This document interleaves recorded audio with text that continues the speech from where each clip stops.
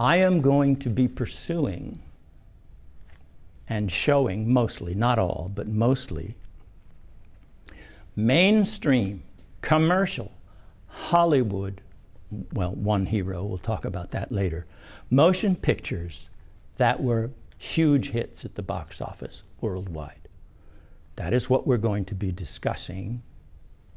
And the only reason that a huge box office, you know, that, the, the size of the box office, the amount of money any particular movie made, the only reason that's important for us is that it tells us these were effective emotional undertakings that touched the hearts of millions of people all over the world. And that's what we're going for.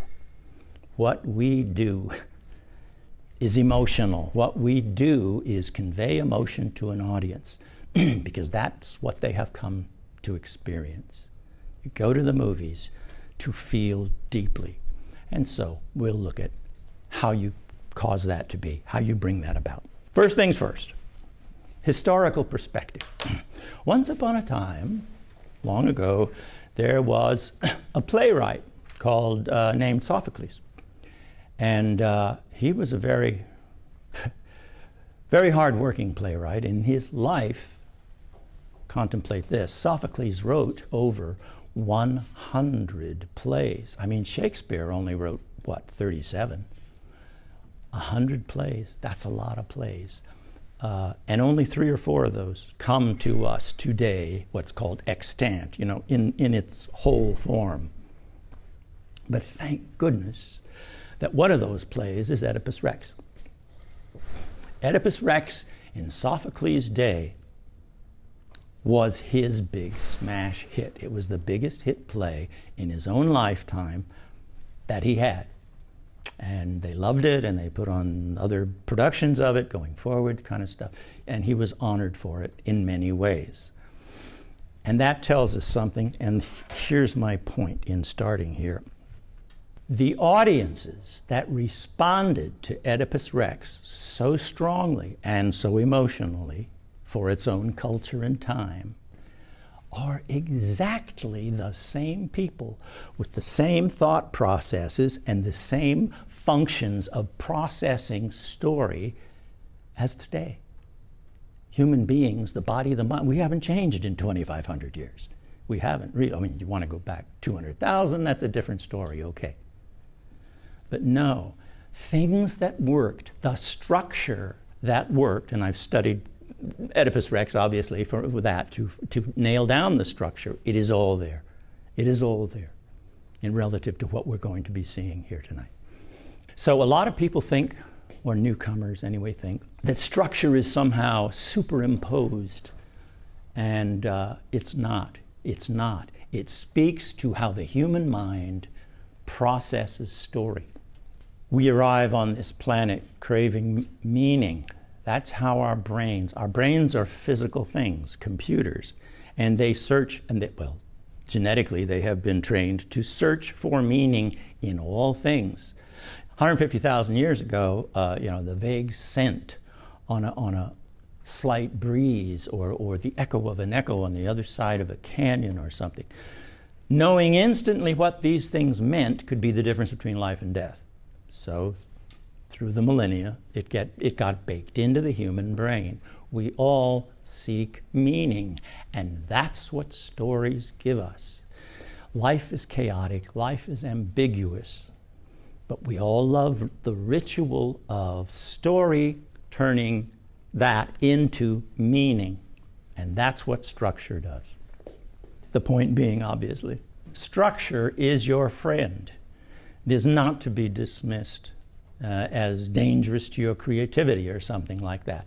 If you feel that way, fine, because I've worked with a lot of grad students who feel exactly that way.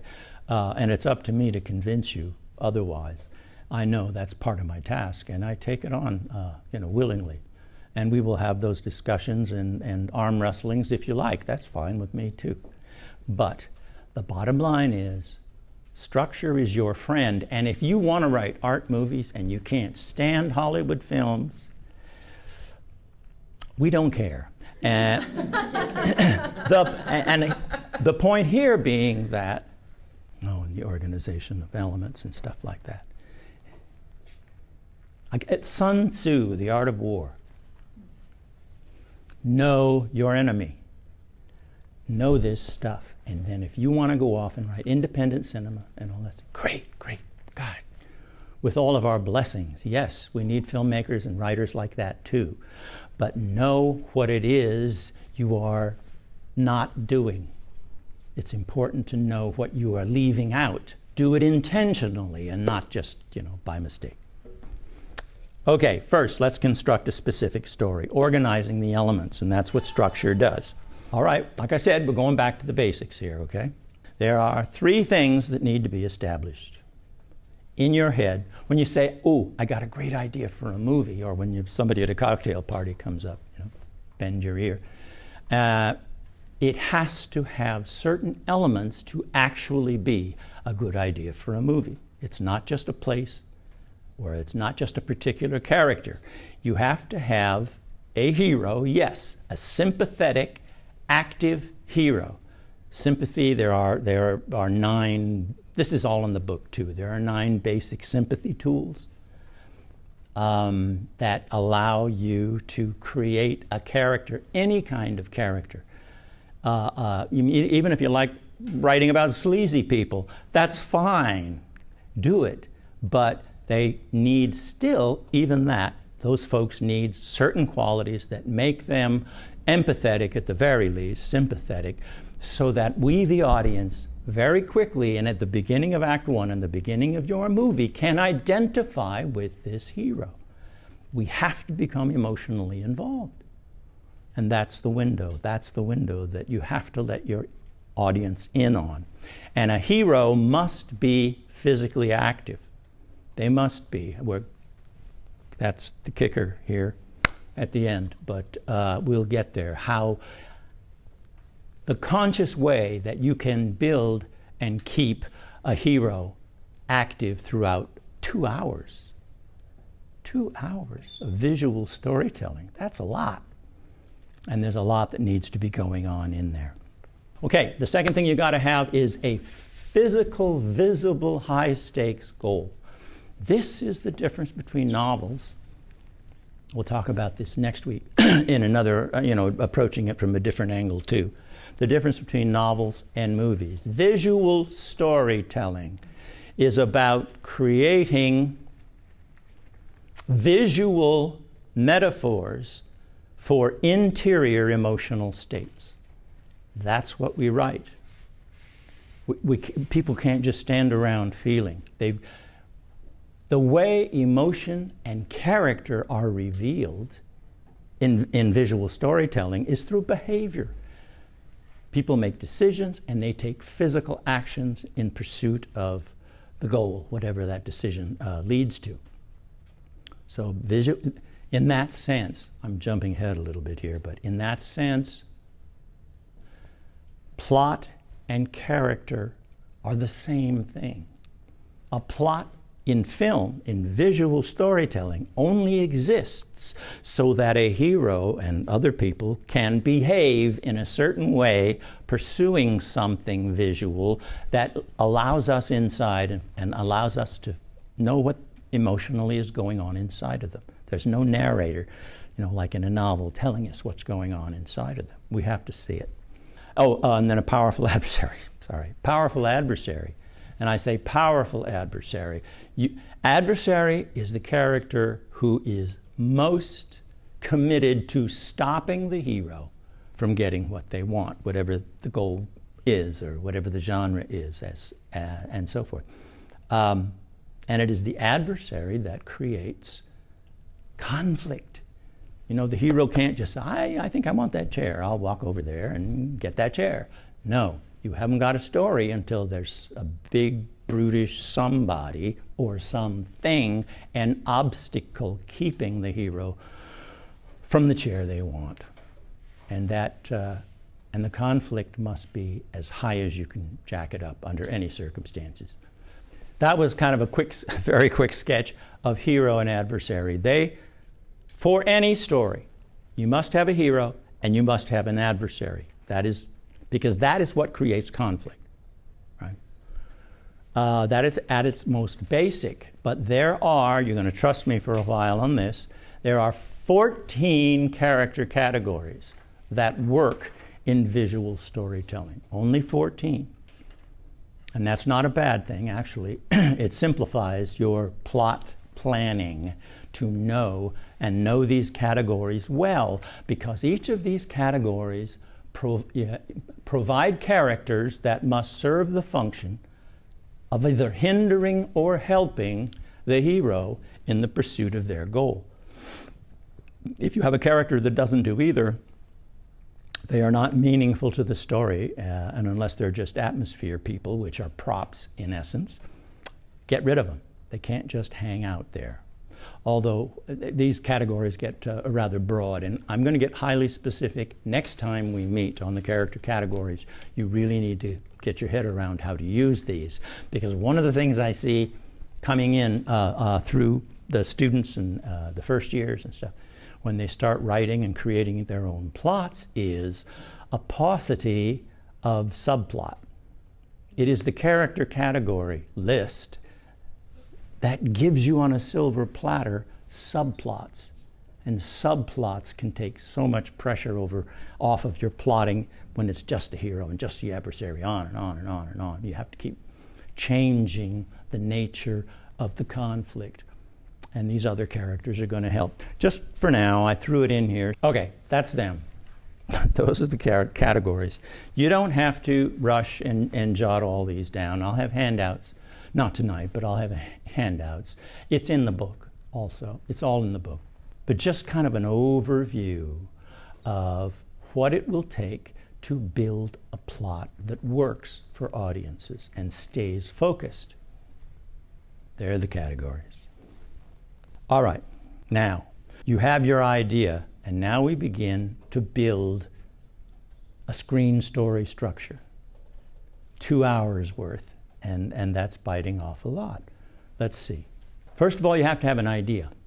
As discussed, three key elements. All of them must be in there to make your idea viable for conflict going forward with a story.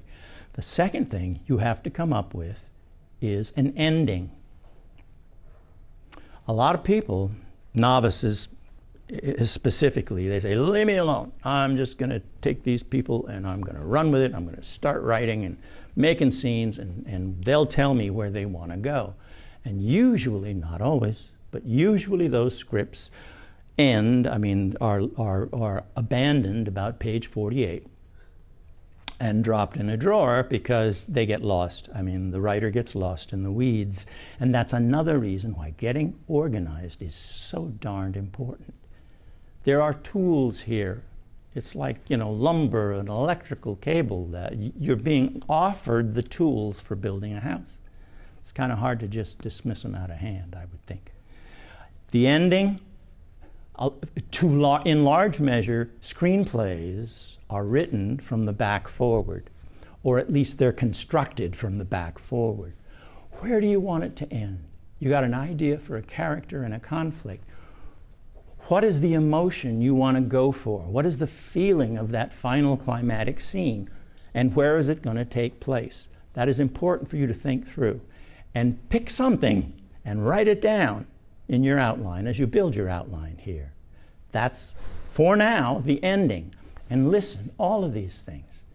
You're not tied to them, obviously. If you get into this and you say you suddenly find something that's a better idea for you and you want to go in that direction, fine, rewrite your outline.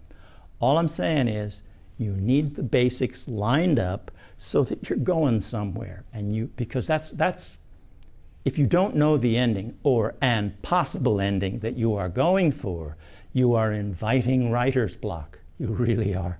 And that's how people get lost in swamps out there. And until they just, you know, they can't face the headache and they, uh, and they put it away. Okay, the ending. Stunning Surprise 1 and Stunning Surprise 2. I'm going to spend a little time this evening with examples of Stunning Surprise 1 and Stunning Surprise 2.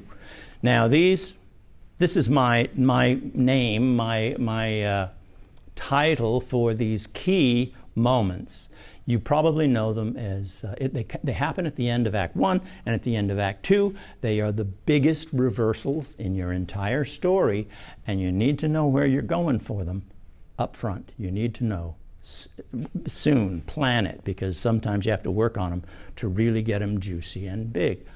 I use the words, what is it? Uh, uh, Syd Field, I think, said uh, it was the first plot points one and two. That's it. That's what he called it. And even Joseph Campbell said it was crossing the first threshold was, you know, stunning surprise one. All of which is true and all of which is great. But I think those are abstract terms. And I prefer terms that are not abstract, even if they're a bit over the top, like stunning surprise, because that should be the impact of that moment that you are creating for your audience. Really impactful. It should be emotional, visible, and very impactful on the hero. Okay, we're going to get to that just right away here. And of this first order of business, and in what you're lining up, you also need to decide early on, you know, before you start writing script pages. Wait on script pages. Because once you write script pages, it gets harder and harder to throw them away. But we'll get on that. You need to know where the beginning goes.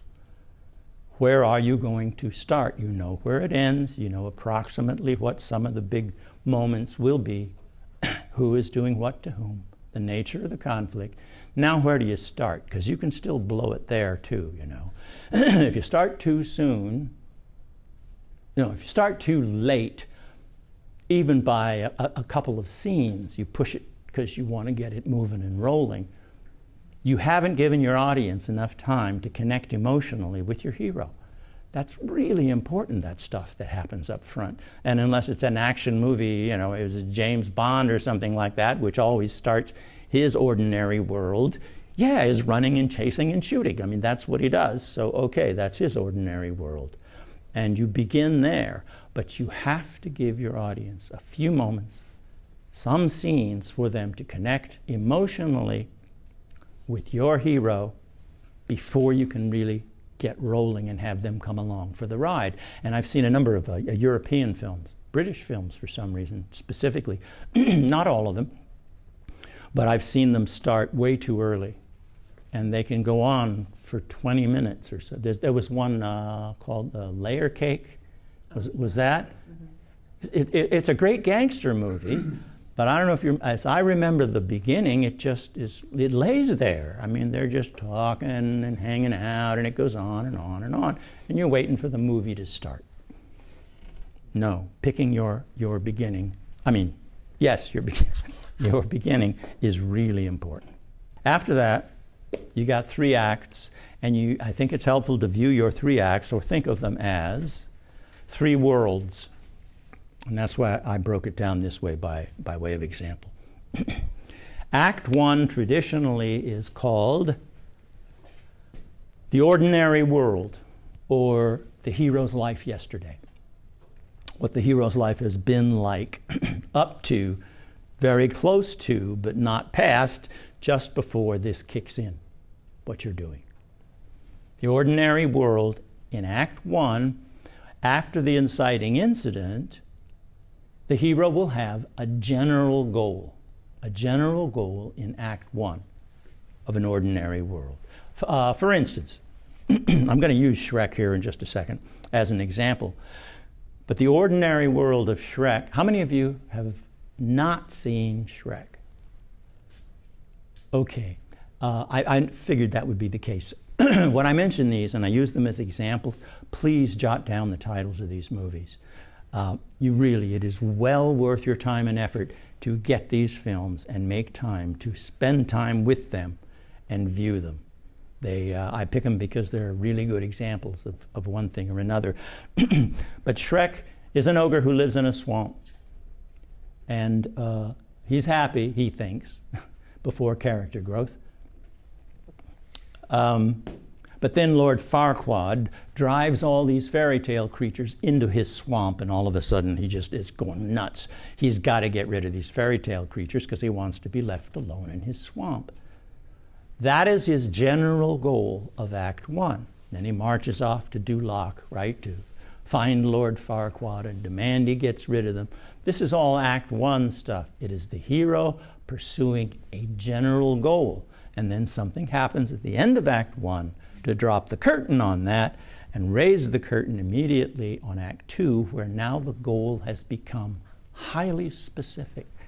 That's what I'm, highly specific. And it's, it's often called the special world, Act Two, because it is a world that the hero has never experienced before by the nature of the circumstances. Sometimes it's a physical difference. But uh, a lot of the times it's just, I mean, like if it's a, a, real life contemporary thing, you know, it's still in Manhattan, but what the hero is now facing makes it incredibly different and special and life or deathish uh, in Act Two. And then Act Two, the hero uh, uh, forms a plan and pursues the plan throughout Act Two, cobbling it together as it gets keeps getting torn apart.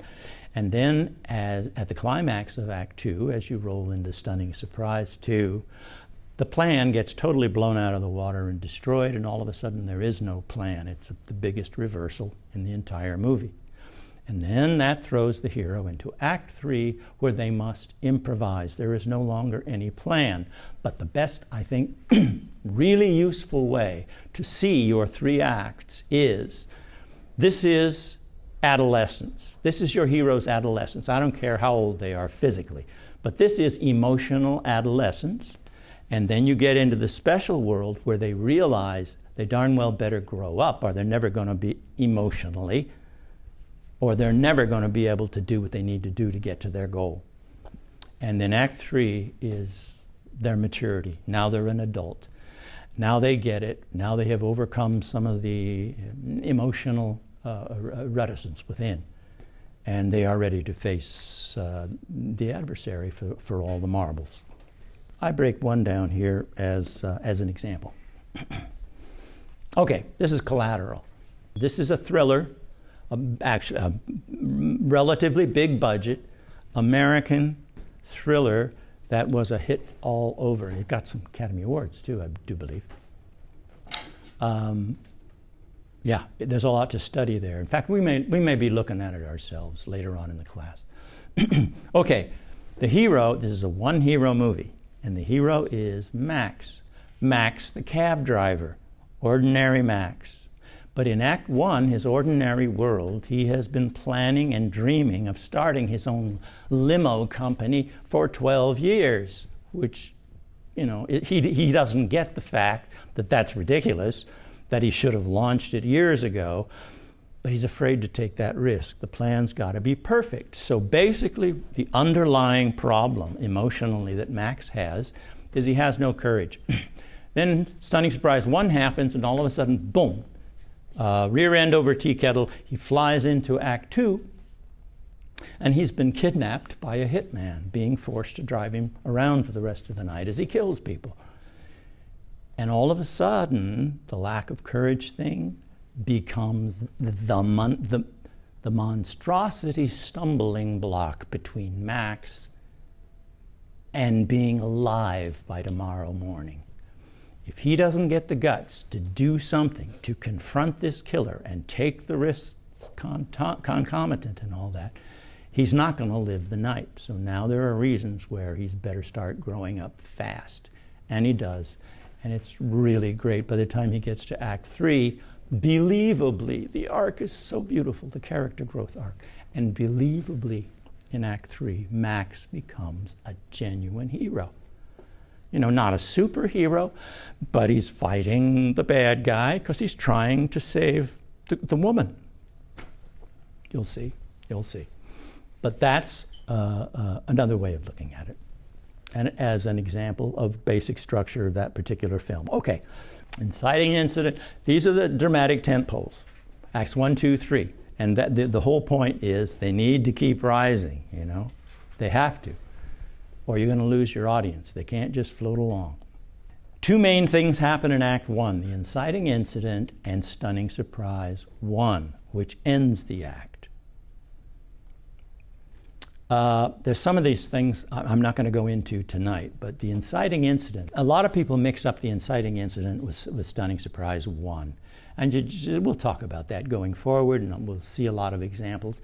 For instance, the inciting incident for E.T., the, the extraterrestrial. Most of you, I'm sure, have seen E.T. That's, I, I'd like to take my examples from a few years ago, assuming that most of you have seen these things.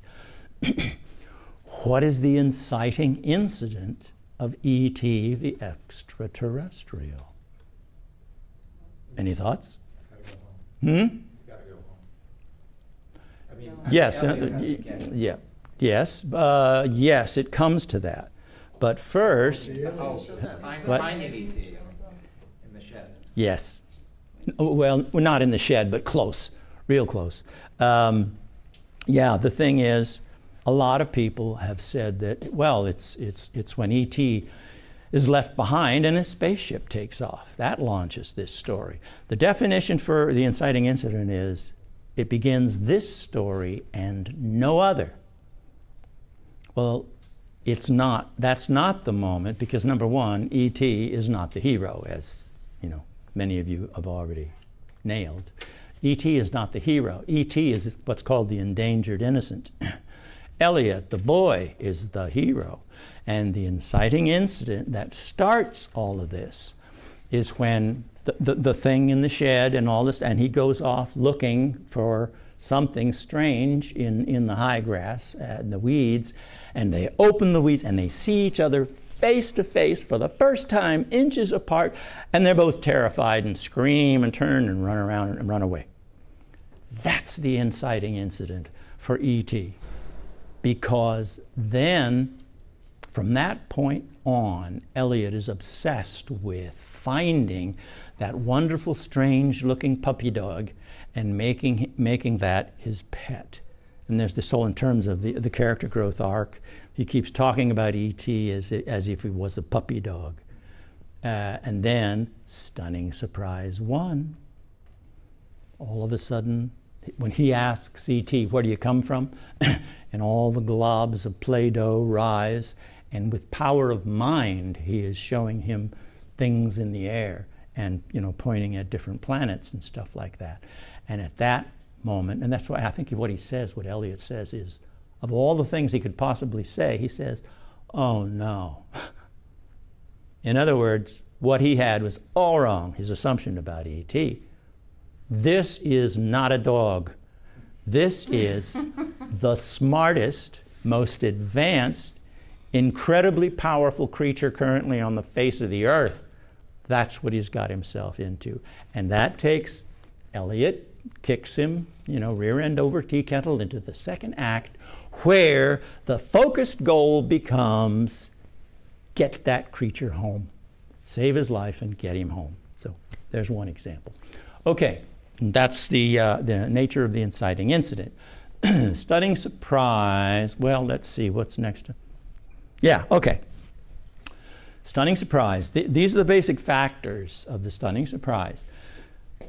Usually, usually, there's wiggle room here, folks, but usually 25 to 35 minutes. It usually depends on how long the movie is. If the movie is two hours, 20 minutes, you know, it can be 44 minutes into the movie. It depends.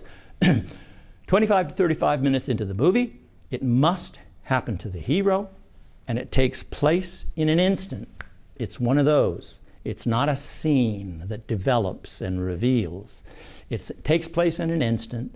It shocks and surprises the hero and us and the audience. And it presents what the storyline is going to be about. Just like Elliot, when he gets you know, kicked into the second act, it very quickly becomes apparent that he knows and we know the storyline is going to be about saving E.T. Right? Okay, this is from this is from Get Out. That is amazing film, an amazing launch of, of careers here. It really was. but that is uh, kind of the moment of stunning surprise. It is frequently eyes large, mouth open. It is a true shock. It has to be a shock to the hero going in. Okay, here's an example. So Shrek has gone off. He's really ticked off about the fairy tale creatures, and he storms off to go find Lord Farquaad. He goes to Duloc. Nobody's in the town, and then he hears people cheering in the arena inside the palace. So he heads in there to find there's some sort of contest about to take place. And he sees Lord Farquaad up on top of his draperies or whatever. And uh, Shrek being Shrek, he's not afraid of anything or anyone. He just goes barging on in there to take his uh, complaint to Lord Farquaad, get rid of the fairy tale creatures. but remember, as soon as Lord Farquaad sees him, he says, Oh, that gruesome ogre! How horrible! How ugly! New plan the knight who kills the ogre will be champion. Of course, Shrek is completely unfazed. He says, Oh, can't we discuss this over a pint? Whatever it was. And so all the knights come after Shrek, and Shrek turns it into a very comical sequence. Very nice. And a perfect climactic action sequence to end an act. Acts rise, even Act 1, you rise to a climax. And then Act 2 rises to a bigger climax. There has to be a climax to the act. And the audience is, is having a great time. They're cheering him on. And then the lady says, "Give him the chair." The references, the references to professional wrestling and all that kind of stuff. One by one and three by three, he dispenses, knocks out all the guards, and uh, then the people are cheering. And uh, Shrek is having a great time and eating up, eating it up, and so is Donkey. Donkey's proud too. But then suddenly a reversal bunch of crossbows get cocked and pointed at them. Uh, that changes the situation. Oops. And then the captain of the guard says to Lord Farquaad, you know, shall I give the order, sir? Hmm. Being the, and the consummate politician that all schmucky authoritarians are, he says, wait, I got a better plan. And he gives the audience what they want. People of Duloc, I give you your champion. What? Uh, say what? There's the look. It is the reversal. Eyes, mouth, the classic, stunning surprise one. Look. And what has that done?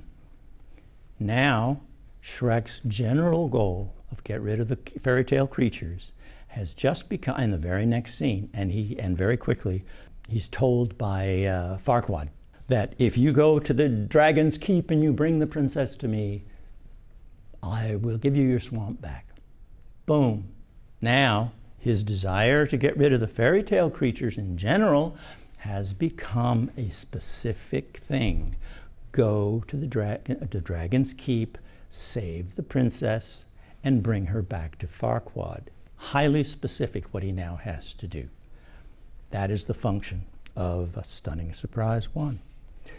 And all of these apply to uh, Shrek. 25, 35 minutes into the movie, I believe it happens at 26 minutes. Must happen to the hero. Always, always must. And it does. Takes place in an instant. I give you your champion. Huh? Yes, it takes place in an instant. Shocks and surprises the hero, heavens, heavens yes and presents what the storyline will be. This stunning surprise one does all of it, fulfills all of the requirements. Okay, here's another one, just one more for stunning surprise one. Okay, cab driver Max is a sweet guy and very sympathetic on a, on a number of levels. Uh, and he's, uh, I don't know, he's the, one of the most time accurate cab drivers anybody has ever met. His cab is immaculately cleaned. This is something else about your hero. Whatever they do, you know, a nuclear physicist to a cab driver, make them tops at it. They have to be highly skilled in what it is they do. I don't care what it is that they do. You know, on all levels. It's, it's a subtle thing, but it's really important. They can't just be a screw up schlub. You're not going to hold an audience that way. Okay, so another guy has gotten into his cab. He doesn't know yet that Vincent is uh, a killer. But he's just dropping him off. Took him a fare and he's dropping him off. But then Vincent comes up with his $600 offer. said, You stick with me for the rest of the night, drive me around. I got a few more places to go, and then get me to the airport in time in the morning, right? And Max kind of hems and haws. It's against regulations, but he says, okay, it's, it, it's for, a, for a one shift night, you know, 600 bucks is pretty good, plus a bonus when he gets in there. So he takes the deal. In this movie, that is the inciting incident. When Max, unknowingly though, but in retrospect we will see, when he takes the deal that binds him to Vincent, and that leads to stunning surprise one very quickly. Says, go around the, and wait for me in the alley. And like a good hero, he doesn't waste any time. The hero should always be doing something. So he uses the wait time to eat his lunch and look at his catalogs for the cars he's going to take on lease for his limo service. He's been doing this for 12 years. and He hasn't launched it yet. But as he is deep into his reverie, out of nowhere, kaboom! Something big and squishy hits the top of his cab, and it happens to be it happens to be a human being who is squished.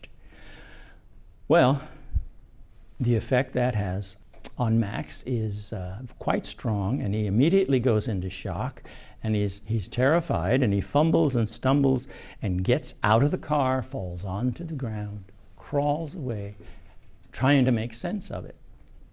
This is not Stunning Surprise 1.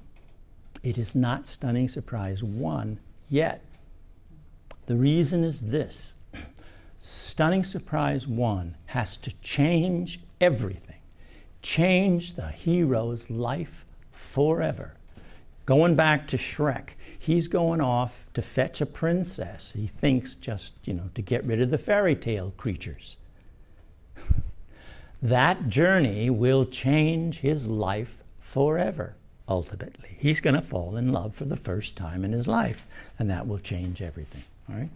Here, he's a cab driver and that's pretty outrageous to have a dead body fall on top of your cab, and it's kind of scary. But realistically, it is not outside of what normally happens in a city. He could, you know, go have a great tale. Uh, maybe it'll be written up in the newspapers, and tomorrow night he'll be driving a new cab. His old life would continue. Yeah, it's spooky and it's big and it's dramatic and loud, but it does not yet change his life. So, Vincent comes mumbling out, very self controlled. And uh, Max is all rattled and he's uh, trying to, oh, the guy fell, the guy fell, fell right in my cab. I think he's dead. Uh, good guess. Vincent plays it low key. And at that moment, the thought finally crosses Max's mind. You killed him. I think Vincent says, you know, I shot him. It was the bullet in the fall that killed him. I mean, it's the kind of cynical, snide guy he is for a, for a killer, right? And even this is not the stunning surprise yet, because he has to get that linked up with one more factor before it changes his life forever, and it's this. Uh, Vincent tries to stop him from running away. Point, pulls a gun, points a gun at him, and, and now he gets it. This is Stunning Surprise 1. And look at the expression. It is the stunning surprise expression because now he knows the full story, which is he is the captive of an assassin. And that means, and he knows, I mean, he, he's seen his face, he's had conversations with the guy. Assassins don't let such people live. So he now sees that. This is called, you know, ass over tea kettle here into, into Act Two, because now for the first time, he is in the special world of being uh, a hostage of a man who kills people for a living that he has to drive around for the rest of the night. And the possibilities of Max coming out the other side of this, you know, by morning, getting away from this guy are practically nil, practically impossible. So now Max has faced a situation he's never faced before, and that is called a special world indeed. How is he going to pull this off? Mild mannered Max is going to confront this guy with life and death. Act two begins. Uh, and the difference here is uh, where is it? There it is 25, 35 minutes. In, in collateral, I think Act one is 19 minutes, 19 minutes long. Pretty, sh- pretty short for Act one, yes. But think about why. This story is about a cab driver. Act one, his ordinary world, almost all takes place inside of a cab. This is a thriller. The movie is a thriller. Um, you got to get something going. You've got to get the story pumped up and running quickly. Not in 25 minutes, no. People aren't going to hang around. You've got to do it as soon as possible. A lot of stuff is set up in Act 1 and in that 19 minutes, and we're going to take a close look at this coming up in a few weeks. Oh, the brilliance with which this thing was composed, this first act. But that's why it has to be shorter. And that is another statement of the paradigm being flexible in some ways. Okay, that was Stunning Surprise 1. Then there's midpoint. Uh, we're not going into the midpoint tonight. The midpoint is juicy, and there's a great deal to be discussed about the midpoint. The midpoint is not a moment like a stunning surprise. It's not just one moment of shock. It is uh, it's a series, as not always, but as a rule, it's a series of short scenes in which several key things that advance the story happen, including, and one of them is, is it's a key character growth moment. Uh, and we'll talk about that another time. But now I want to jump to the other key one, most important one, which is Stunning Surprise 2. Some of the same things and some new things in Stunning Surprise 2. This, this is the climax and, and the curtain dropper for the end of Act 2. And a lot goes, I mean, the bulk of your movie. I mean, Act 2 can be 70 pages, even more, of, of your screenplay. And that's why it deserves a lot of attention and a lot of thought and planning, and we'll get to that. It is the biggest reversal in the whole movie. This is the biggest dramatic event in your whole movie. Takes place in an instant, yes. Shocks and surprises, yes. But here, the hero's plan is destroyed. Um, that means at the beginning of Act Two, the hero kind of picks themselves up, dusts themselves off, and now they have a very highly specific and difficult task ahead of them, a goal. So they start formulating a plan. And sometimes they start gathering allies. As uh, uh, Campbell says, sorting out enemies and allies in that first section of Act Two.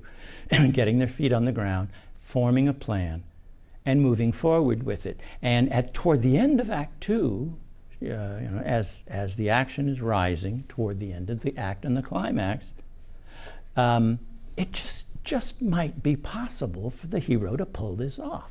It's looking more and more like it's feasible.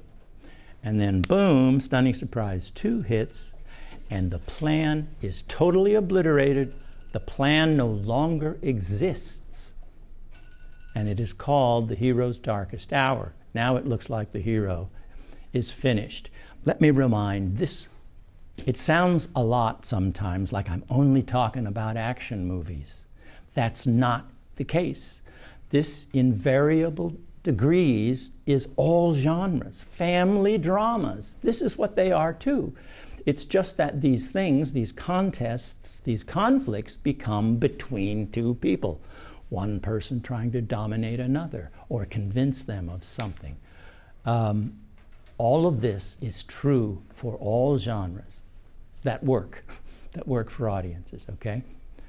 And it it's often called the hero's darkest hour. But I throw this in because I've got an example coming up, to, again, to show you a variation. About 5 or 10% of all the movies that work have a reversal to the positive.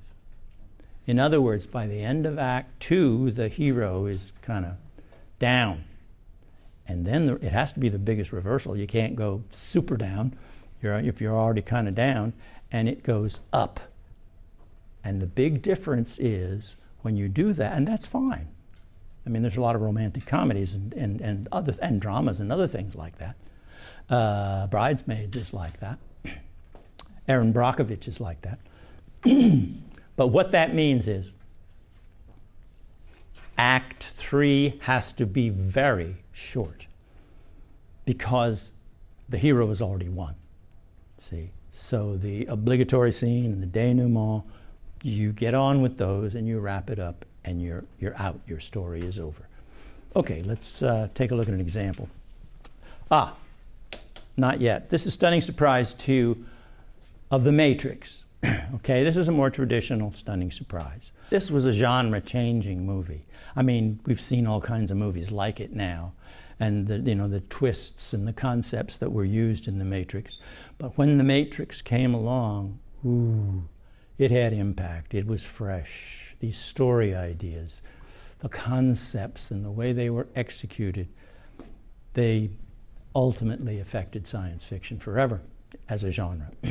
so, okay, this is a one hero movie, as all of these are, uh, and the hero is Neo, and uh, he just uh, saved the life of his mentor, Morpheus, and, uh, and he was helped by, by the love interest character, Trinity, and he got them to uh, a phone booth, and that's how uh, the, the technician on their ship, the Nebuchadnezzar, on the, the rebels' ship, that's how he, Tank gets them out of the, mat- the matrix back on, on board the ship, and he got Morpheus and Trinity back on the ship. But then the bad person shows up, the adversary, Agent Smith shows up, and they have a big fight, and it's like a fight to the draw, and uh, uh, Neo is making a run for it, but he had a cell phone, so he's still talking to Tank, and Tank is sending him to another place where he can be extracted by telephone. Okay. They're running. The robots are running after him too. And ah, one of the better adversaries in film, Agent Smith, is also close on his tail, closer than uh, Neo actually realizes. Their cannons are being shot, zinging.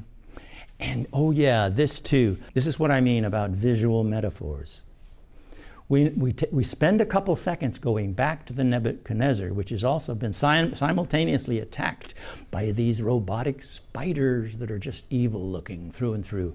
And they are literally tearing uh, uh, the seals off of it, the siding off of it. And they are seconds from storming inside and killing every human being in the Nebuchadnezzar, one of the few groups of human beings still alive in this world. What this does, though, what this does is remind us, the audience, visually, that it's not just Neo trying to save his own life. Neo is responsible for all of these people, and that's what makes him a hero, a true hero. He is doing, yes, he's in danger, but he's got to get back for the protection of other people, and there, the definition of hero. There it is. Okay, he's running down a grungy hall. Remember that? Those of you have seen it. It's, it's an interesting climax. It's visually quite striking, too. he's running, he's running, he's being chased, and he hears a phone ringing behind the door. I guess it's just where Tank told him it, it would be, and he better get there fast. And he goes up to the door. I wonder why they picked room, I mean, 303. Usually, when a filmmaker puts a number like that, it has significance. Maybe it's Trinities, you know, two trinities, I don't know. But the phone is ringing, and he throws the door open. Oops. Agent Smith is waiting for him with this hand cannon pointed at his chest. It's over. There is no escaping for, for Neo under this circumstance. His face is smaller, but look at the expression eyes wide, mouth open, stunning surprise one. Yes, Neo, you're dead. That is pretty stunning surprisey. Then he braces himself to take it like a hero. And he's shot six, seven, eight times, I forget. It's just the way they sound, the juice to the sound to make those sound like cannon shots blasting out of that gun. It's very powerful. And, ouch.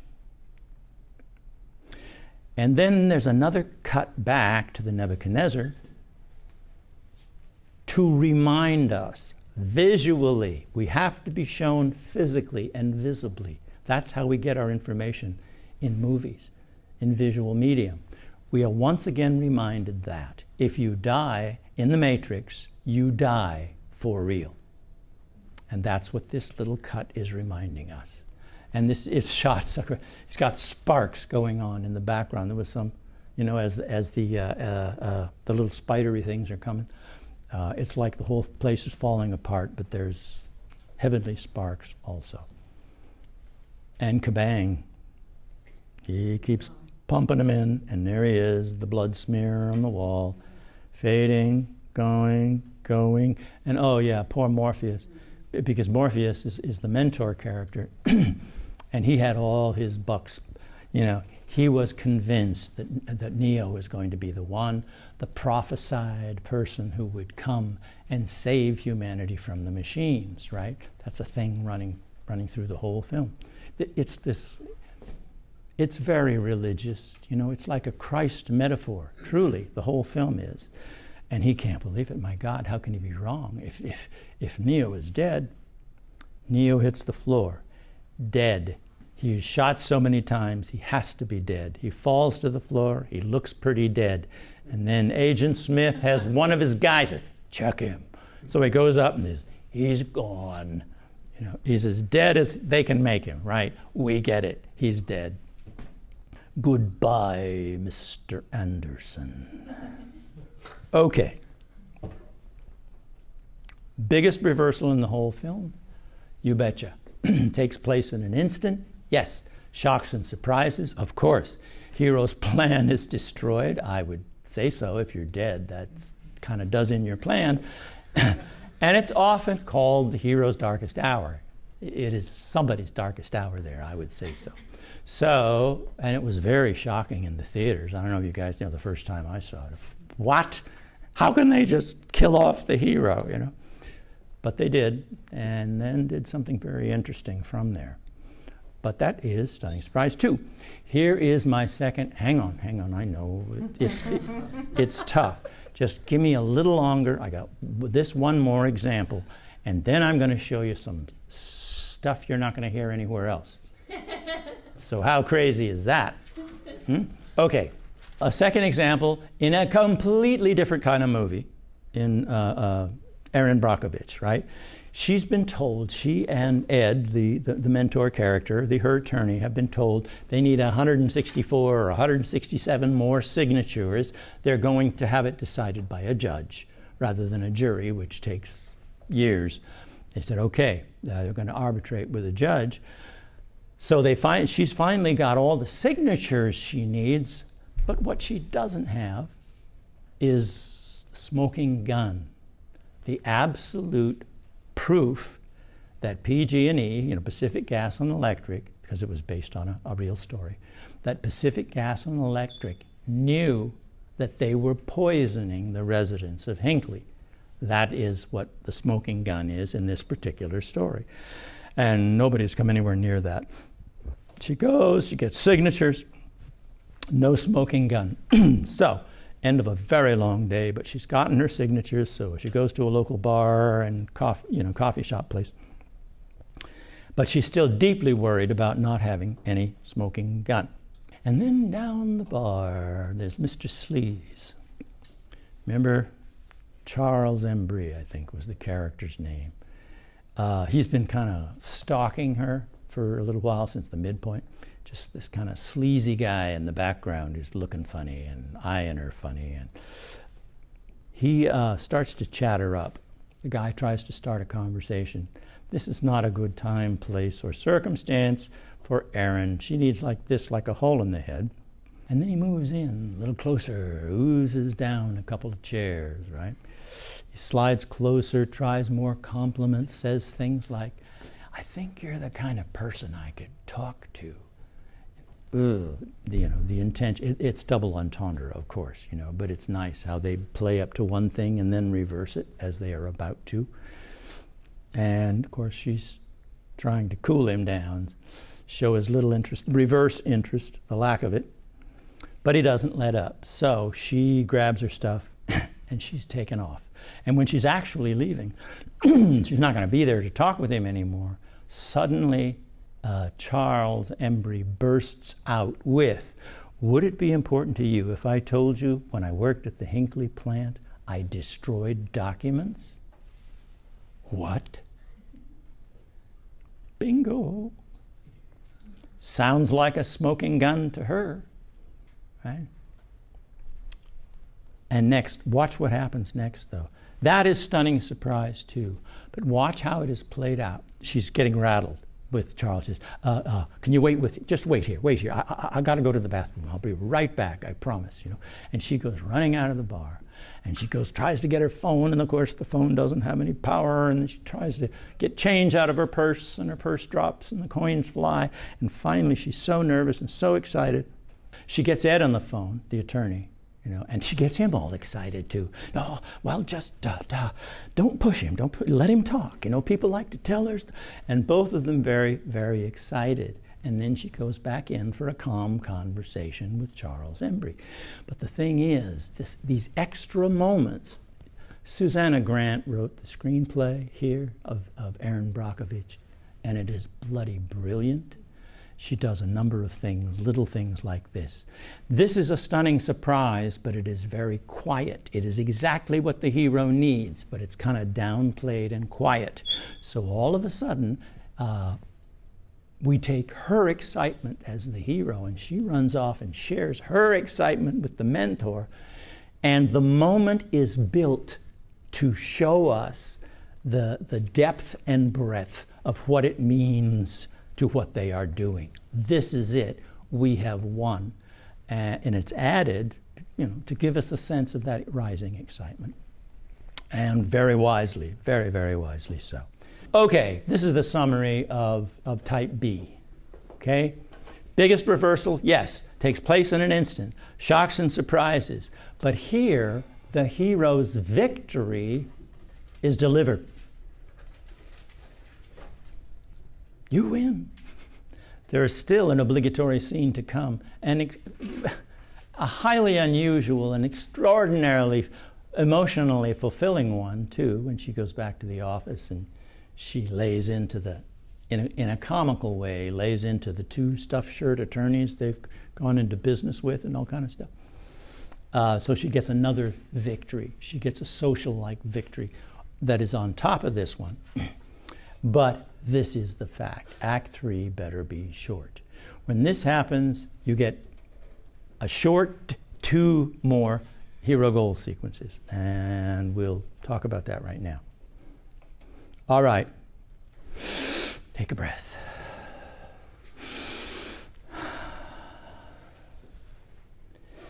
There are two things that drive all screenplays that work, all of them visual stories. Two, one is conflict.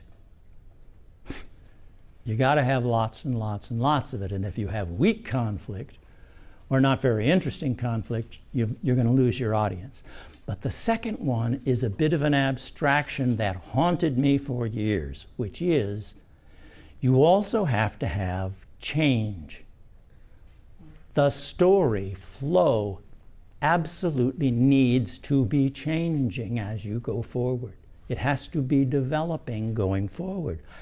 And I found it impossible to, to, to teach that. You know, that was an either, it's one of those things, you there's an instinct you have or you don't have kind of thing. But it infuriated me. I've, I've always felt that there was something there that could be teachable. So that's when I went into the weeds and the, the, jungles for a few years and started watching movies over and over and over and over, trying to find a pattern in change that had not yet been codified. I know that's a pretty outrageous thing to say and to be looking for. and I was shocked more than anyone when I actually realized I was looking at one. There is a pattern to change in these films, in the way they speak to the human mind and emotions and process this information of story to make it emotionally fulfilling. There is a unit of change that you can get your hands on. And it seemed to me if you could truly codify the length and content of one unit of change, you might really have something in terms of the most useful tool for outlining a feature film I've, I've ever seen anywhere else, and I try to stay on top of these things. Define the size and content of the units of change in successful screen stories, and you can build a more effective way to write screenplays. And this is a fact. And the unit of change that I found, I named hero goal sequences. Again, because it, that refers to actions rather than abstractions. Here are the definitions. I'm going to read these. I don't want to, you know, muff it. So I'm going to read it. A hero goal sequence. We're talking about a unit of change. A hero goal sequence consists of three to seven pages of screenplay. There's wiggle room there. I've seen them at two pages, I've seen them at nine pages generally three to seven pages of screenplay, wherein a hero pursues one short term physical goal as one step toward achieving the overarching goal of the whole story. Then the hero discovers, in pursuit of that one short term goal, some form of what I call fresh news some sort of information or object that they happen into that is one of the you've, you've got to have so many surprises for an audience in a, in a feature film.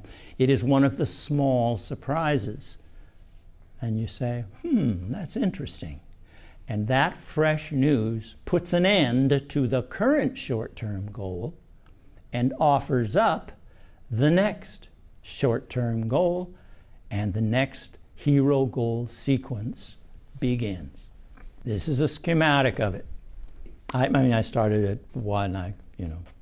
Okay, so you come here, you've got a goal, you're searching for the goal, and then boom, fresh news. It is a mini, mini, mini stunning surprise. You know, mini. It's not the big thing. And all of a sudden, this goal comes to an end. It's not needed anymore, or it's completed, or whatever then boom, you're up to the next level of involvement and interest and growing tension in the story. Here's an example, concrete time. Gravity. But here is where it starts. Hero goal one in Gravity is the ordinary world of the hero. The hero of that movie is Sandra Bullock, who plays Dr. Ryan Stone, who is in space working on space station because of a deep, deep wound that she received when her four year old daughter fell off of a jungle gym and died. She lost her daughter and her meaning of life in a freak accident. And she is so profoundly in grief. What she has done is gone as far away from life and the earth as she can possibly get into total silence, the depth of silence of space. So she is up there and she's doing her work, and her, her goal is to work in space without thinking or feeling. Fresh news, and that, that sequence also establishes other members of the crew, and it establishes her, uh, her mentor character, the George Clooney character. Kowalski, I think was his name. And fresh news after X number of minutes is Houston suddenly calls and says, Abort mission, return immediately. A wide swath of space junk is heading right at you. And now they're scrambling and trying to get inside with the other astronauts. There, I think there's three of them out there working at the time. and uh, she's caught up in what she's doing. She's trying to finish and reboot, you know. She's being focused on that. And, and, and Kowalski keeps saying, Get inside now. And you can't move too fast in spacesuits and all that. And fresh news, so get inside the spacecraft and return right away. And fresh news become, becomes they don't make it. The debris storm hits and they're right in its path. Then that becomes uh, hero goal sequence three, which is do everything you can to survive the debris storm. You see, those are actions that pile up on each other. This is just one taste. I mean, this is, I'm going to have your head spinning with perhaps you think too much of this stuff going forward in the course. But this is the ticket, guys. This is a secret. And here's the weird part. This is what I wanted to get to finally. Thank you for hanging in through technical disaster and all. This is what Act 1 looks like. Act 1, listen, you know, hear this. This I'm still astounded, but this is true. Act 1 in any motion picture that works for audiences and was a big hit, Act One of all of them, no matter their genre, have six hero goal sequences in it. Six. Not five, not seven, six. And stunning surprise one always appears in hero goal six. Always. It never fails. If the movie doesn't work, then that's not the case. I mean, I mean, I, I invite you to, and I've done a lot of it too. You, you've got to watch bad movies too. But from now on, when you see bad movies, I don't want to hear just, ah, I didn't like it, it stinks. You got to tell me why it stinks. Where did they fail in, in their mission to bring you emotion? How did they blow it? I want you to be able to spot, and you will soon enough, be able to spot exactly why it didn't work. Okay, and the weirdness continues. Here's the graph of Act 2. Act 2 is broken in half by the midpoint sequence. The first half of Act 2 contains another six hero goal sequences. And the midpoint sequence, in every good movie, has a really good midpoint sequence, and that's saying something because these aren't easy at all. And the midpoint sequence always appears in hero goal sequence number 12. Always. And in the second half, second half of Act 2, there's another, guess what? Another six hero goal sequences. And stunning surprise, too, always appears in hero goal sequence 18, not in 19, not in 17 or 16, in 18, in every movie that works emotionally for audiences. Act 3 is the only place it can vary. Act 3 contains between two and five hero goal sequences. There's a minimum of two because, remember, there is the obligatory scene and the denouement. Two things are critical, and they have to happen in Act 3. Uh, and they each need their own goal sequence. So that's why the minimum is two, and the maximum is five. But hear me, please. There are a few really good movies. I mean, my favorite romantic comedy of all time, uh, As Good as It Gets, it has five. But it has to wrap up so much, and there are so many important relationships that have to be wrapped up in Act Three. Okay, we cut it some slack. I am asking you, short of begging, do not go with five hero goal sequences in your Act 3. It makes the act too long and your audience gets restless. It, it, the stories or movies we go to and we feel that they have repet that keeps ending over and over and it's still ending kind of thing. That is the feeling you're in danger of creating keep Act 3 short. That is what it's meant to be. The average for a successful Hollywood movie that is loved all over the world, the average is 21. In other words, three hero goal sequences in Act 3. Here's a graph of the entire thing. And here is your challenge. This, I believe, is extraordinarily good news for you you now know in advance exactly how much story your screenplay is going to need if it is to be a hit with audiences, if it is to affect them and connect with them emotionally. This is what it needs to be. And I'm, believe me, I'm setting out to prove it to you, and I will prove it to you this semester in spades. that it's true, and it's true across all genres, because this is about, you know, uh, this takes us back to Greece. This is about speaking to how your audience absorbs sto- the ritual of story. That's what it's speaking to. But here's the problem with it. I mean, this is really, I think, enormously useful and valuable knowledge. But take a look at the number of little surprises you have to come up with.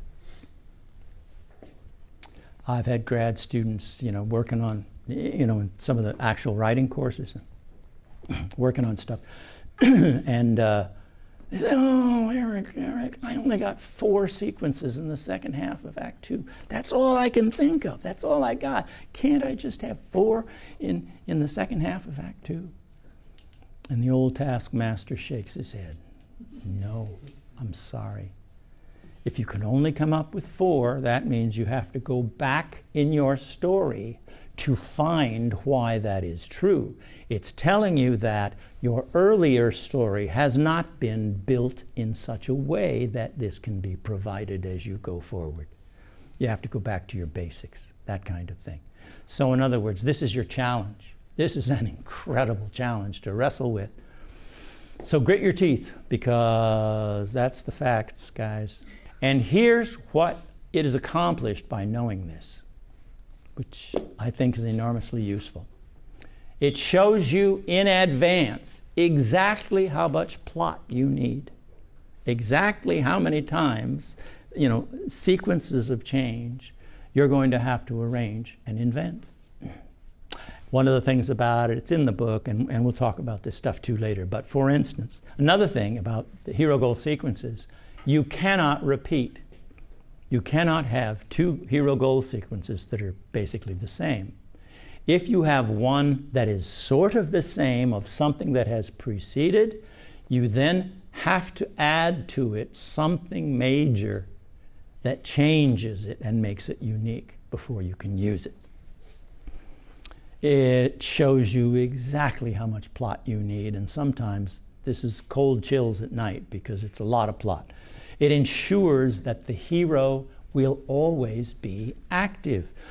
One of the two or three most deadly things that kill so many scripts from neophytes is a passive hero. Think, uh, the, the kind of story that things happen to the hero, and the hero doesn't happen to the story, driving the story forward on their own. It doesn't work like that. If you do this, the hero is always active. 21 times they are in pursuit of a physical goal. They can never be passive. And what's interesting is that's what happens in movies that connect with audiences.